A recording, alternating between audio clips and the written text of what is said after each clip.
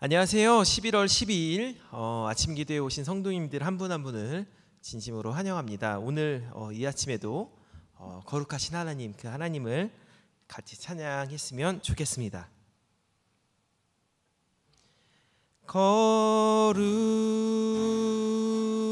거룩하신 하나님 주께 감사드 리세 날 위해 이 땅에 오신 독생자 예수 나의 맘과 뜻 다해 주를 사랑합니다. 날 위해 이 땅에 오신 독생자 예수 내가 약할 때 강함 주 가난할 때 우리를 부욕해 하신 나의 주. 감사. 내가 약할 때 강함 주 고 가난할 때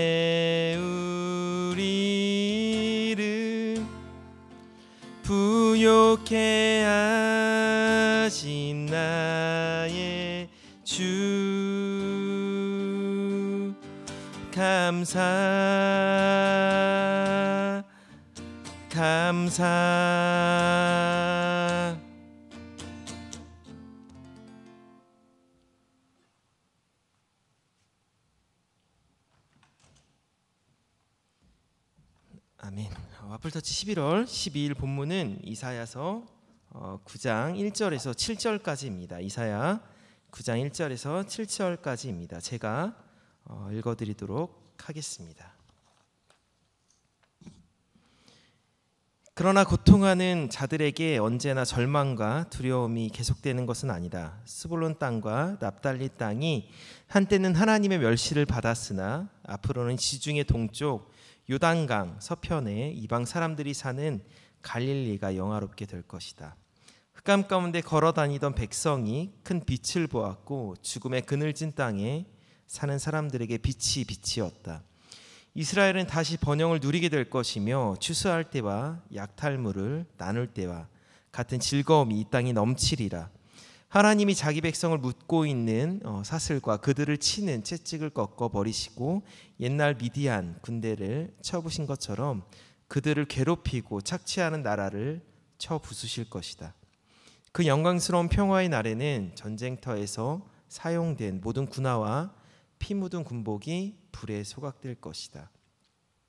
한 아이가 태어났으니 우리에게 주신 아들이다. 그가 우리의 통치자가 되실 것이니 그 이름은 위대한 스승, 전능하신 하나님, 영원히 계시는 아버지, 평화의 왕이라 하리라. 그의 왕권은 한없이 신장되고 그의 나라는 언제나 평화로울 것이며 그가 다윗의 왕위에 앉아 그 나라를 굳게 세우고 공정함과 위로 의로움으로 영원히 다스리실 것이다. 전능하신 여호와의 열심히 이것을 이루리라. 아멘. 어, 하나님의 경고를 계속해서 무시한 어, 유다 백성들의 어, 타락한 실상을 저희가 전장과 전전장 실장에서 어, 8절에 보게 됩니다. 어, 이어서 오늘 본문에서는 그럼에도 불구하고 그럼에도 불구하고 그들을 포기하지 않으시는 그 하나님, 그 기다리시는 하나님, 그들을 정말로 사랑하시는 그 하나님의 사, 사랑을 어, 소개하고 있습니다. 오늘 본문은 크게 두 가지로 어, 나눠 볼 수 있을 것 같은데요. 1절에서 5절 5절까지는 어, 이스라엘의 남은 자 남은 자들의 구원을 위한 어, 메시아의 오심과 그로 인해 임하게 될 복에 대해서 이야기하고 있고요. 마지막으로 6절에서 7절까지는 어, 오실 메시아의 거룩한 특징과 그분의 사역들을 소개하고 있습니다. 어, 메시아가 오심으로 인해서 어, 그가 통치하는 왕국은 그 무엇보다도 즐거움이 기쁨이 넘치는 곳입니다. 왜냐하면 구원의 빛이 그들을 사랑하는 사랑의 빛이 기쁨의 빛이 비춰주실 것이기 때문입니다.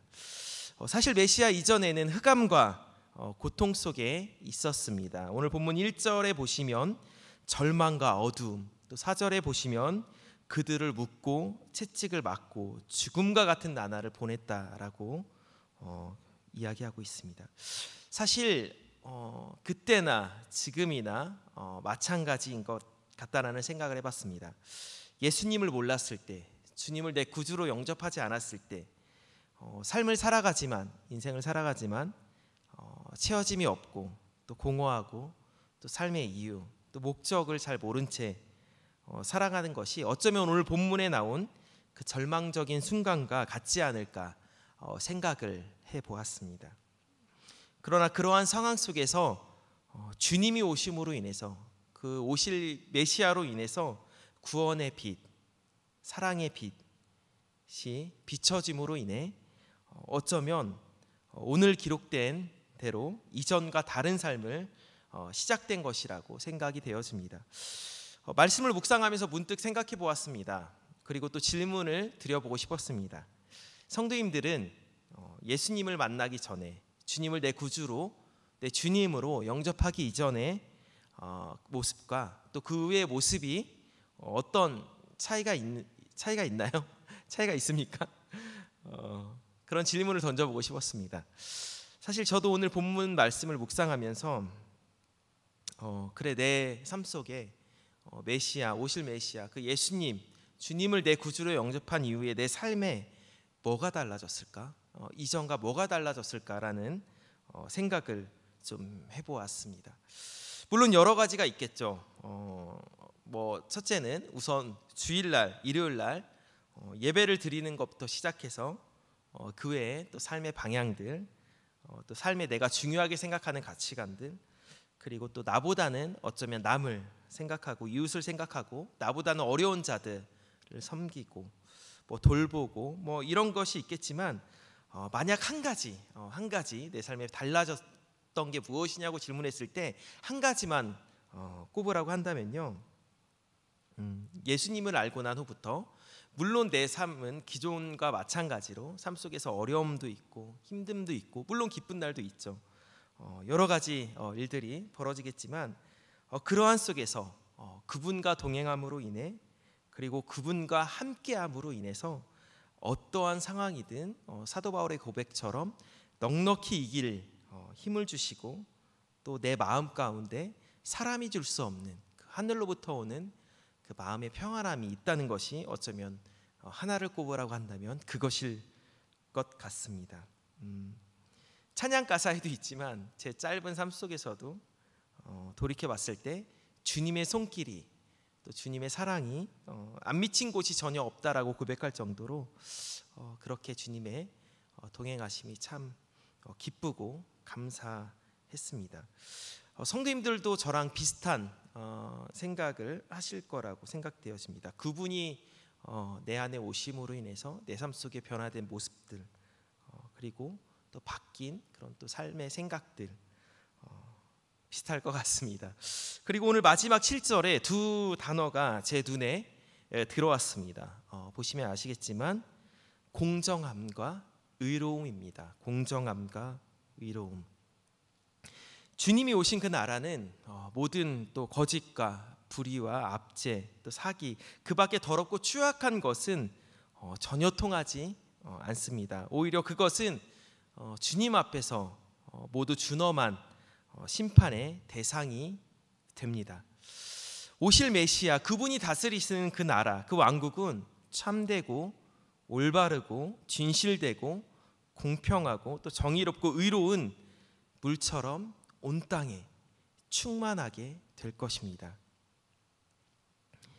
어, 삶을 살아가다 보면 저는 물론 짧은 어, 인생을 살았지만 뭐 앞으로도 계속 어, 살아온 날보다 살아갈 날이 더 많이 있죠. 어, 살아갔을 때 음, 간혹 간혹 어, 삶을 살아가다 보면 어, 공정하지 못하고 또 의롭지 못한 부분들을 보게 됩니다. 그리고 또 자연스럽게 판단도 하게 되죠. 어, 최근에 또 마이클 어, 샌들이 쓰기도 하고 또 예배 때 정도 목사님이 추천 한번 해주신 것 같아요. 어, 공정하다는 착각. 어, 어쩌면 공정하지 않는데 우리는 공정하다는 착각 속에 뭐 살고 있다라는 뭐 이런 책도 나오고 있죠. 어, 정말 삶을 살아가다 보면 공정하지 않고 페어하지 않고 의롭지 않고 어, 정의롭지 않고 오히려 악한 모습들을 어, 많이 보게 됩니다. 그것이 직장일 수도 있고요. 뭐 친구와의 관계일 수도 있고 또 뭐 어쩌면 어쩌면 교회 안에서도 그런 모습들이 있을 수 있을 거라고 생각이 되어집니다.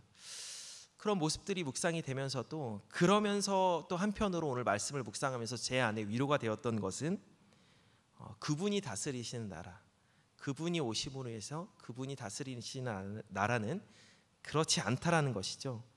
그리고 또 위로가 되는 것은 내가 불공정하다 생각하고 어, 공정하지 못하고 의롭지 못한 부분들을 나만 아는 것이 아니라 바로 하늘에서 그 주님이 다 지켜보고 알고 계시다는 것입니다. 어, 나만 본 것 같은데 어, 하나님이 다 보고 계시다는 거죠. 어, 하나님의 공정함 그리고 또 그분의 의로우심이 우리 삶 가운데 우리가 속해 있는 공동체 가운데 직장에서 교회에서 가정에서 나아가 세상 가운데 좀 넘쳐났으면 좋겠습니다. 그분의 공정함과 위로우심이. 어, 그래서 내가 죽어도 도래할 천국을 기다리는 것이 아니라 이 땅에서 지금 내가 밟고 있는 이 땅에서 어, 생활하면서 내가 속해 있는 공동체에서 주님이 다스리시는 그 공정함 그리고 의로움이 가득한 세상이 되었으면 좋겠습니다. 어, 특별히 이제 다음 주면 어, 우리 또 아이들 또 수능 어, 시험이 있죠. 어, 그리고 또 그 외에 또 진로를 놓고 고민하는 친구들도 있을 것입니다. 어, 근데 한 가지 안타까운 건 뭐 흔히 수저를 비교해서 많이를 얘기하는데 뭐 나는 뭐 태어날 때부터 흙수저야, 뭐 흙을 파먹었어, 뭐 누구는 은수저야, 또 누구는 금수저야, 누구는 뭐 다이아몬드 수저야, 뭐 이렇게 어, 수저로 표현하면서 삶의 불공정한 그런 어, 모습들을 어, 비하하기도 하죠. 바라기는 우리 다음 세대들이 살아가는 그 세상은 좀 더 공정하고 의로운 세상이 되었으면 좋겠습니다. 그것을 위해서 우리 어른들이 좀 더 노력하고 또 노력하고 또 그렇게 살려고 또 치열하게 그러 살아가는 모습들이 있었으면 좋겠고요. 어, 또 하나님의 은혜가 그 안에 있기를 기도했으면 좋겠습니다.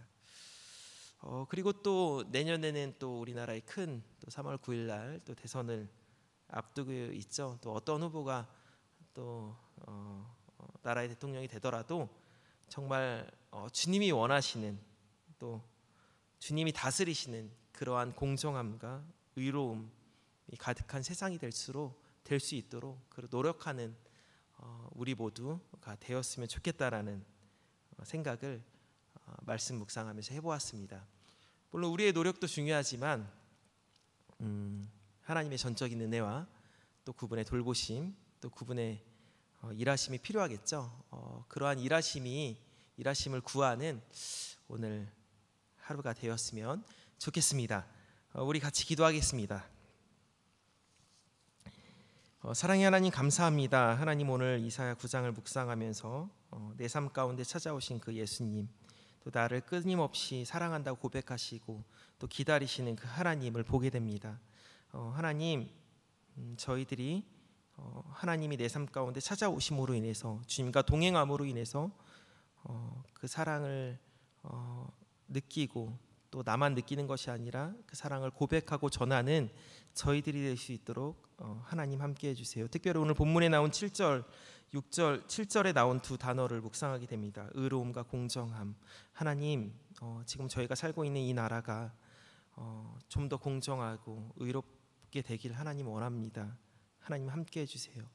또 다음 주에 우리 어, 수능을 앞두고 있는 친구들 있고 또 그 외에 진로를 놓고 고민하고 기도하는 우리 아이들 다음 세대 아이들이 있습니다. 하나님 그들 가운데도 함께 하셔서 어, 잘 준비하게 하시고 또 시험을 본다면 잘 치를 수 있도록 어, 하나님 은혜 내려 주시고 우리 다음 세대 아이들이 살아가는 그 세대는 하나님의 일하심으로 인해서 어, 좀더 공정하고 의로운 나라가 될 수 있도록 하나님 이 나라 가운데 은혜를 더해 주세요. 그렇게 일하신 하나님을 기대합니다. 예수님의 이름으로 기도했습니다. 아멘.